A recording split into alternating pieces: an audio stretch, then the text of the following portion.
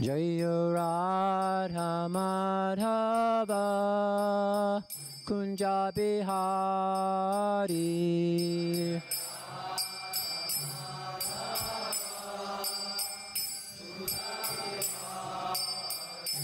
Jai Radha Madhava Kunja Bihari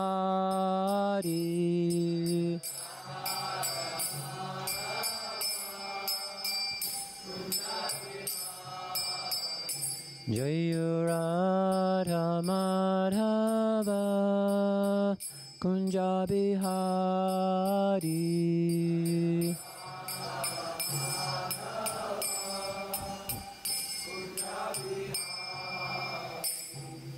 John Vishnupad Paramahamsa Parajikacharya Asto Tarasata Shishimad. His Divine Grace A.C. Bhaktivedanta Swami Prabhupada Ki Jai Jayam Vishnupad Paramahamsa Paravajakacharya Asto Tarasata Shishimad Shringa Guru Srila Bhakti Siddhanta Saraswati Goswami Maharaj Ki Jai Ananti Kodi Vaishnavinda Ki Jai ISKCON BBT Founder Acharya Srila Prabhupada Ki Jai Namacharya Srila Haridas Thakur Ki Jai Premsakaho Shri Krishna Chaitanya Prabhu Nityananda Shri Advaita Gadadhar Srivasari Gaur Bhaktavinda Ki Jai Shri Shri Radha Krishna Gopi Gopinath Shyamakund Radhakund Giri Govardhan Ki Jai Vrindavan Dham Ki Jai Mayapur Dham Ki Jai Navadvip Dham Ki Jai Jagannath Puri Dham Ki Jai New Dwarka Dham Ki Jai Their Divine Lordship Shri Shri Rukmini Dwarkadish Ki Jai Their Divine Lordship Shri Shri Jagannath Baladev Shrimati Subhadra Ki Jai Their Divine Lordship Shri Shri Gaur Nitai Ki Jai Shrimad Bhagavatam Ki Jai Jumunamai Gangamai Ki Jai Tulsi Devi Bhakti Devi Ki Jai Prashadam Distribution Ki Jai Harinam Sankirtan Jaga Ki Jai Transcendental Book Distribution Ki Jai Gaur Pramananda Hare Hare Bol. All glories to all the assembled devotees Hare Krishna. All glories to all the assembled devotees Hare Krishna. All glories to all the assembled devotees Hare Krishna. All glories, all glories to Sri Sri Guru and Sri Gauranga Glories to Srila Prabhupada Namo Krishna Jai Patak Swam Tamane. Namo Krishna Bhaktivan Swam Namaste Saraswati Devi Brahmacharya Om Namo Bhagavate Vasudevaya.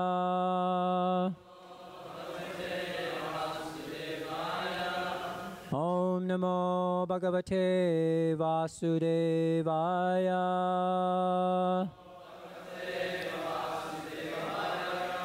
Om Namo Bhagavate Vasudevaya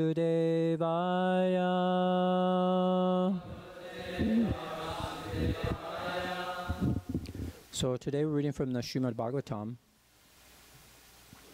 This is the ninth canto. The canto is entitled Liberation. And this is chapter 20, the dynasty of Puru. And we're going to read texts 28 to 33, I believe. There's like six verses. So I'm going to read these because there's no purports, and I'll stop at one that has a purport. Mrigan krishnan haranyena parivitan adat karmani masnare niyutani chaturdasa. When Maharaj Bharta performed the sacrifice known as Mashnara, or a sacrifice in the place known as Mashnara, he gave in charity 14 lakhs of excellent elephants with white tusks and black bodies, completely covered with golden ornaments. Bhartasya mahat karma na purve na pare nipaha naivapur naiva prapshanti bahubhyam tridivanyata. As one cannot approach the heavenly planets simply by the strength of his arms, for who can touch the heavenly planets with his hands? One cannot imitate the wonderful activities of Maharaj Bharta. No one could perform such activities in the past, nor will anyone be able to do so in the future. Wow. Text 30. Kirata hunan yavanan Pondran Kankan Kasan Chakan Abramanya Nipams Chahan Malechan Dig Vijaya Kilan. When Maharaj Bharta was on tour, he defeated or killed all the Kiratas, Hunas, Yavanas, Pondras, Kankas, Kasas, Sakas, and the kings who are opposed to the Vedic principles of Brahminical culture. Jita Purasura Devan Ye Rasanok Sam Ye Rasok Kamsi Bejire Devastriyo Rasam Nita Prani Pi Punar Arhat. Formerly, after conquering the demigods, all the demons had taken shelter of the lower planetary system known as Rasatala and had brought all the wives and daughters of the demigods there also. Maharaj Bharta, however, rescued all those women, along with their associates, from the clutches of the demons, and he returned them to the demigods. Wow.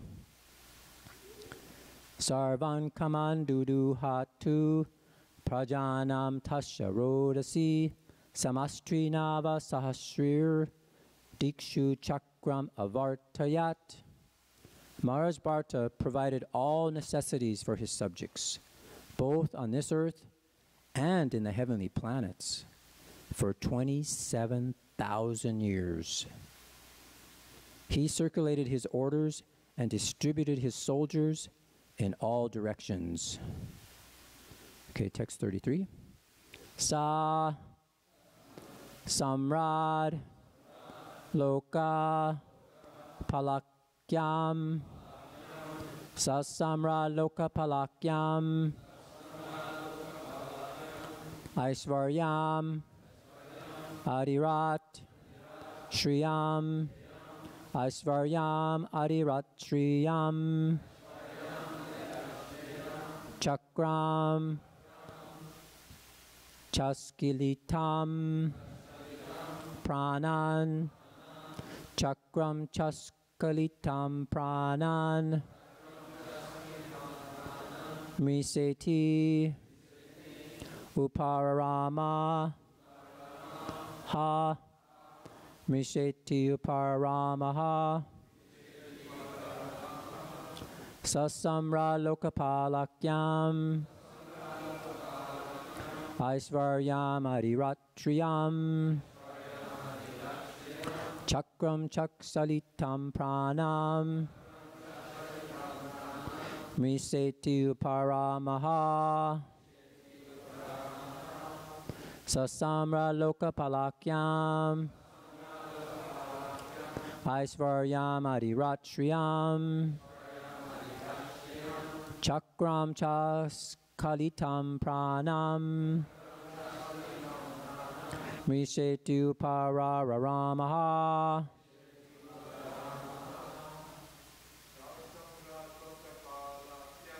Sasamra Lokapalakyam. Aisvaryam Adiratriyam Chakram Chaskalitam Pranam Miseti Paramaha Sasamra Lokapalakam Saryam Pimsvapadam Anjasaviyamanam Chetu Madaramanam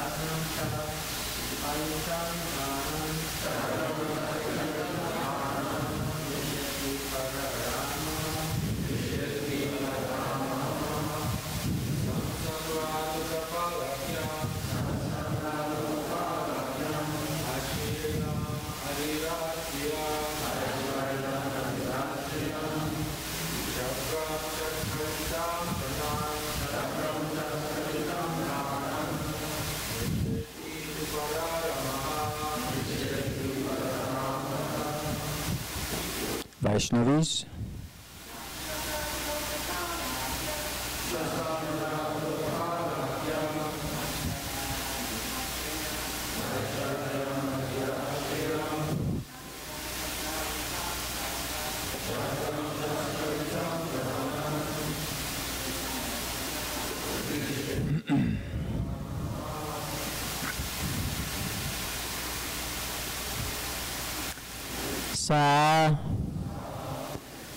Maharaj Bharata, Samrat, the emperor, Lokapala Akyam, known as the ruler of all the lokas or planets. Aishvaryam, such opulences. Adirat, thoroughly in power. Shriyam, kingdom. Chakram, soldiers or orders. Cha, and Askalitam, without failure. Pranan, life or sons and family. Mrisha, all false. Iti, thus. Upararama, ceased to enjoy. Ha, in the past. Translation and purport by Srila Prabhupada. As the ruler of the entire universe, Emperor Bharat had all the opulences of a great kingdom and unconquerable soldiers. His sons and family had seemed to him to be his entire life. But finally, he thought of all this as an impediment to spiritual advancement, and therefore he ceased from enjoying it. Pur- purport. Maharaj Bharta had incomparable opulence in sovereignty, soldiers, sons, daughters, and everything for material enjoyment. But when he realized that all such material opulences were useless for spiritual advancement, he retired from material enjoyment. The Vedic civilization enjoins that after a certain age, following in the footsteps of Maharaj Bharat, one should cease to enjoy material opulences and should take the order of Vanaprastha. Sorry. Om Jnana Timanandasya Gananjana Salakaya Chaksus Unmilitamena Tasmai Sri Gurve Namaha Sri Chaitanya Manobhistam Stapitamena Bhutale. Swayam Upagadamayam Dadanti Swapadantikam Jai Shri Krishna Chaitanya Prabhu Nityananda. Shri Advaita Gadadha Shivasari Gaur Bhaktavinda. Hare Krishna Hare Krishna Krishna Krishna Hare Hare. Hare Rama Hare Rama Rama Rama Hare Hare. Vanchakalpa Tubhyascha Kripa Bevacha Patitanam Pavanebhyo Vaishnavebhyo Namo Namaha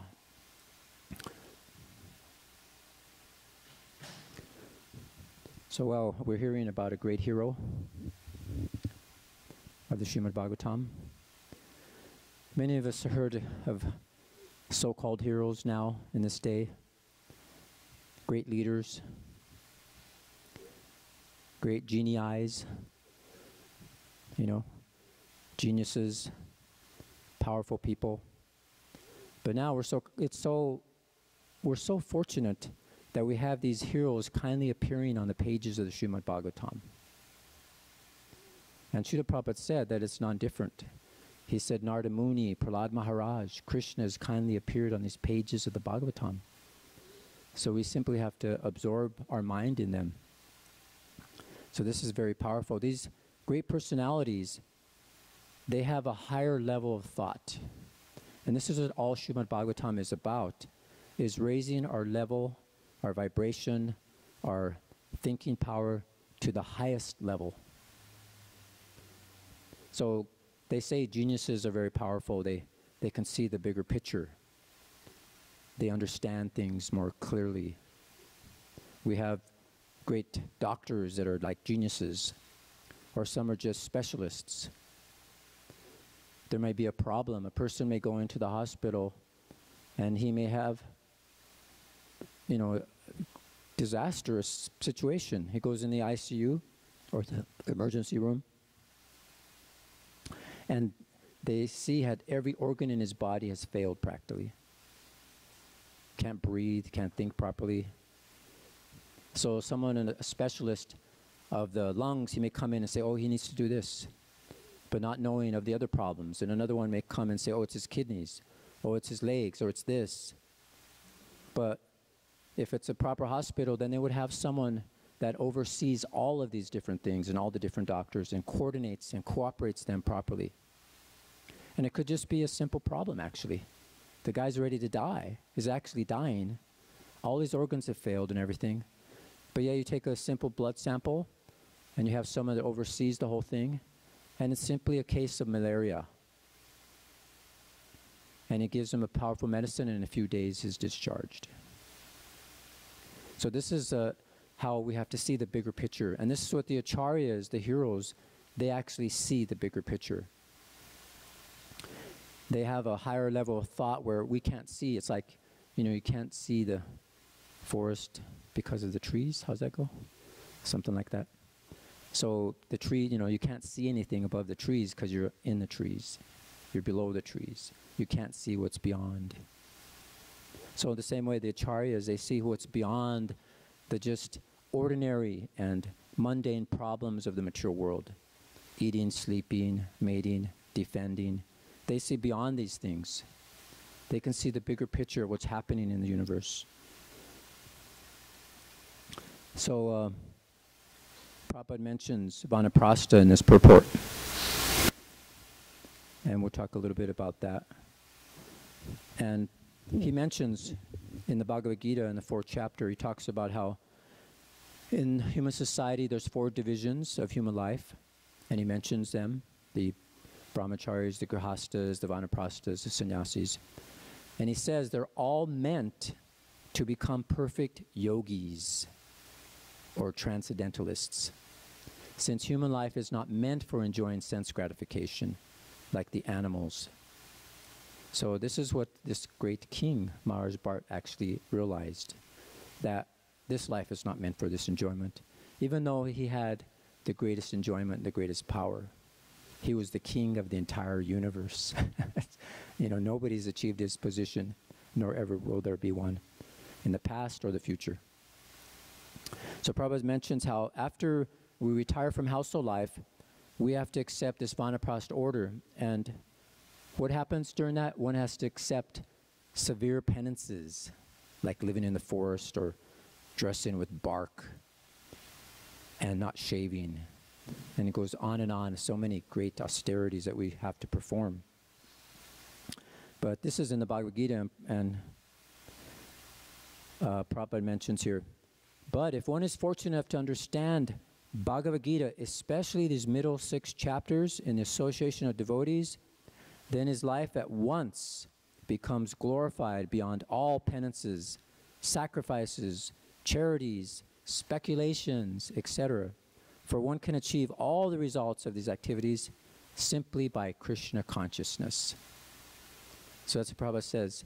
The beauty of Krishna consciousness is that simply by one stroke, we, by engaging in devotional service, we can surpass all these rituals, all these austerities of these different orders of life. So, this is the simple solution to all the problems given to us by these great acharyas. So, Prabhupada also mentions here in the Bhagavad Gita, this is in the eighth chapter. By advancement in association of the devotee, one is placed in devotional service, and this service dispels all his misgivings about anything. He, and then he understands Krishna's different forms, his features. And then after that's cleared away, then one becomes fixed in one's study. Then one realizes the study of the Bhagavad Gita and attains the state of feeling always Krishna conscious. In the advanced stage, one falls completely in love with Krishna. The highest perfectional stage of life enables the devotee to be transferred to Krishna's abode in the spiritual sky, Goloka Vrindavan, where he becomes eternally happy.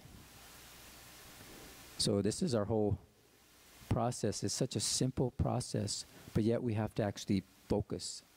We have to study very intently. Now, there's a nice, uh, another pastime we could see about this great hero of the Srimad Bhagavatam. This is in the first canto where Dhritarashtra quits home because of the mercy of a great Acharya, his brother, Vidura. And here, Prabhupada mentions in a very powerful purport, I'm just going to read a few sentences. The living being, by his desiring to lord it over the material world, this is the king, his, who else can overlord the material world as a great king like Maharaj Bharat? Over the entire universe, he actually was a control. So, by desiring to lord it over the material world and declining to cooperate with the Supreme Lord, we contact the sum total of the material world, namely the Mahatattva and the form of the Mahatattva, his false identity with the material world, intelligence, mind, senses is developed. This covers his spiritual identity. So not only are we covered by the trees and the molehills that we can't see beyond, but look, at saying here we're discovered by the entire Mahatattva. we're actually buried in this sum total of the material world. So we're completely covered over. And then, he, then Prabhupada, in another sentence in that purport, he says, in other words, we have to realize that qualitatively one is non-different from the supersoul and thus he transcends the material sky by his pure identical intelligence, and thus becomes engaged in the transcendental loving service of the Lord. This is the highest perfectional development of spiritual identity which was attained by Dhritarashtra by the grace of Vidura and the Lord. So this is what Dhritarashtra did is he actually went backwards in his mystic power, like Srila Prabhupada said, that the purpose of all these ashrams is to become a yogi. And this is what Dhritarashtra did. He was, in his yogic ability, he actually reversed the process of getting covered over by this mahatattva, this material energy. And then he realized he was actually spiritual quality with the supersoul. And this is how Srila Prabhupada ends the purport. A pure devotee of the Lord does not live on any planet of the material sky nor does he feel any contact with material elements. His so called material body does not exist, being surcharged with the spiritual current of the Lord's identical interest. Isn't that powerful? He's surcharged with the spiritual current of the Lord's identical interest. And thus he is permanently freed from all contaminations of the sum total of the Mahatattva he is always in the spiritual sky, which he attains by being transcendental to the sevenfold material coverings by the effect of his devotional service. The conditioned souls are within the coverings, whereas the liberated souls is far beyond the cover. So talk about being covered over and talk about getting a bird's eye view or an airplane view.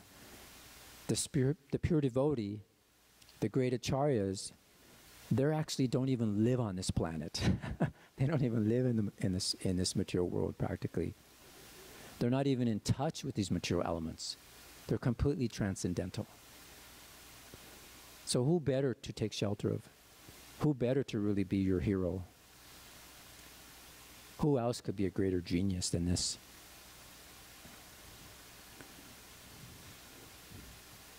So if we look at this verse, I was analyzing this verse and I was seeing how, let's see if we could open this up here.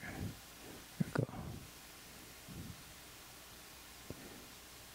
We could see in Acharya, he actually knows what the problem is. He actually knows the solution to the problem.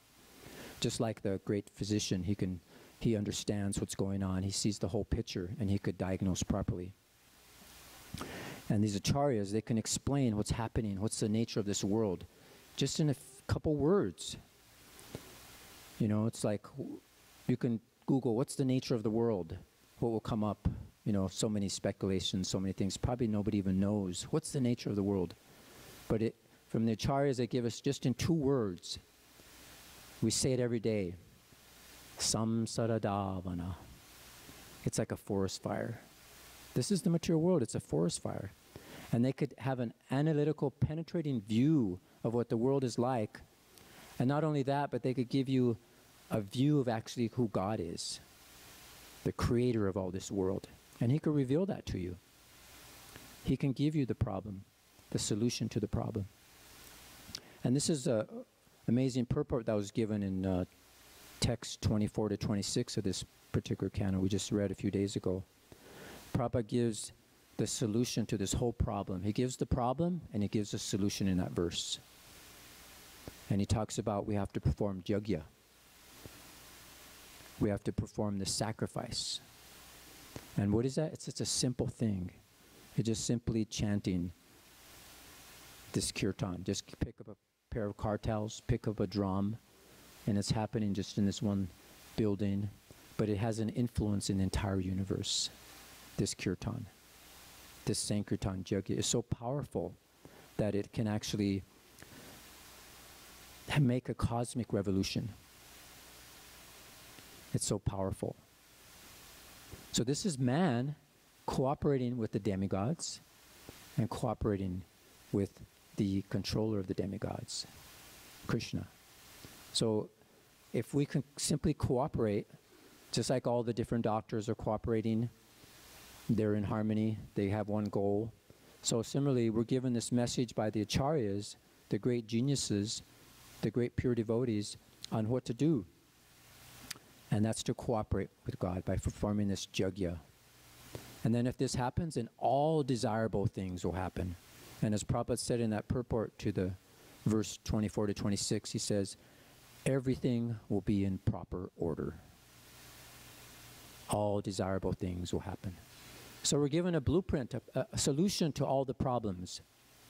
And we have to become carriers of this knowledge also.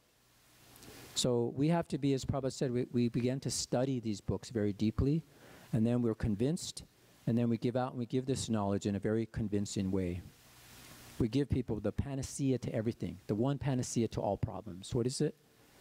Just chant Hare Krishna. Please, Krishna. What's the problem?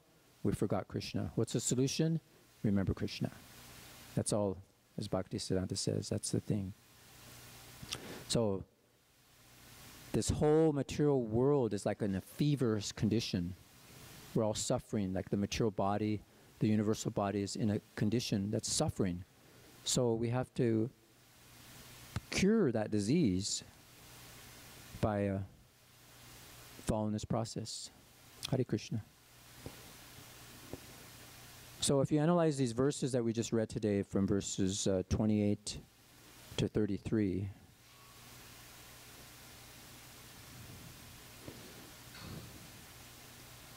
what did this great king do?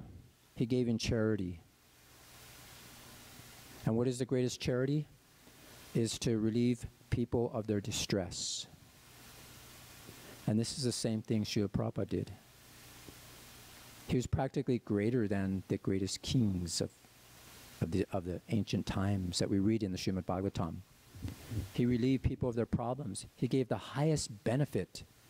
And he gave it to the largest amount of people he wasn't just concerned about himself, but he traveled over the seas and he went around the globe 14 times. And he gave everyone and anyone this knowledge, this charity of helping people from this distress. And then in the next verse, he talks about how he subdued all these kings. He traveled all the universe, this great King Bharat. He subdued the demons. He protected the demigods. You know, he did so many powerful things. And Srila Prabhupada, he traveled the globe, as I mentioned, 14 times. And anybody who came in contact with him who had any opposition to what he's had to teach or had some nonsense philosophy, he would smash them with his weapon, his sword of knowledge. Nobody could defeat Srila Prabhupada. And you see that. There's so many memories, so many tapes, Srila Prabhupada giving lectures to so many different types of people, whether he's a religious personality, whether he's a, a military person, whether he's a, you know, in the political personality, whatever, Srila Prabhupada defeated them all. They even came to him for advice. like that policeman in Chicago, crime, why, what to do. And Srila Prabhupada gave the solution. Like a great king, the personality. And then this great king, he rescued, he reclaimed all the wives of the demigods, and he returned them. He made a safe place for them. And that's what Srila Prabhupada did. He created a home in which the entire world can live peacefully. Didn't matter which color, which race, which religion. Prabhupada made it so that everyone can live peacefully, not living according to all these mundane conceptions because someone is different, someone is different color, different race. So Prabhupada came and rescued all the wives, all the husbands, all the children, everybody, people. Just like in the early days, he came to America and he rescued all these youth that were bewildered, that were just fallen, misguided, and he gave them direction. He gave them the solution. And then it also mentions how he provided all the necessities to all his subjects. And this is what Srila Prabhupada did. He gave the process by which all the necessities of life will be given to you. He circulated his books. He distributed the solution all over the world. And it empowered all his disciples to go on and actually conquer. He empowered them to become distributors of this knowledge, carriers of this knowledge. Because he gave them this Srimad Bhagavatam, it taught them how to think on the highest platform and to give this highest form of thinking to everybody. And this is the actual process of the parampara, is that you have that current, as Prabhupada had the current of the spiritual energy this is a transcendental current that's handed down through parampara. And you can get the same result. Simply touch that current, and then we can become empowered. We can become enlightened and elevated above all these mundane problems of the material world. And Srila Prabhupada did this. It seems like, I mean, this king was a great king, but Srila Prabhupada did this at the age of 70.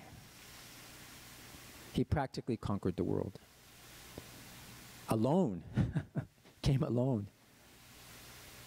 And in just a matter of 10 years, just we can't just fathom what he did. And then Srila Prabhupada actually gave us the most final lesson. Just like this king, he retired, he, he decided to give up everything. And Srila Prabhupada also showed us by his exemplary example of his life and the example of his final lesson that he gave. He showed us how to actually die, how to actually give up everything. So this is Srila Prabhupada, he, his example of his personal life, his living, his teaching, his sharing, his protecting, his charity, so many things Srila Prabhupada did. And then ultimately showing us how to actually die and he was a perfect example. And he'll go down in time. You know, there's no time when you just go down for eternity, what Srila Prabhupada did. So this is what Prabhupada did. He actually gave us the solution to the ultimate good for the entire universe, for the entire world. One problem was lack of Krishna consciousness, and the one solution was Krishna consciousness. So we have to become in touch with this transcendental current of Srila Prabhupada, and like he did, we have to figure out how to present it in such a way that people will accept it. We have to become so convinced ourselves and then actually try to realize how to convince others, present it in a very convincing way. So this is our dedication. We just simply understand this. We dedicate our life to Krishna.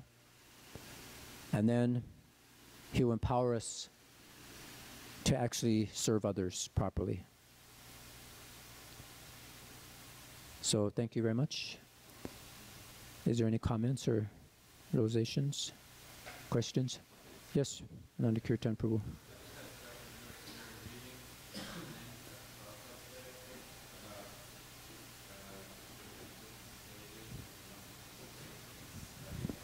Yes.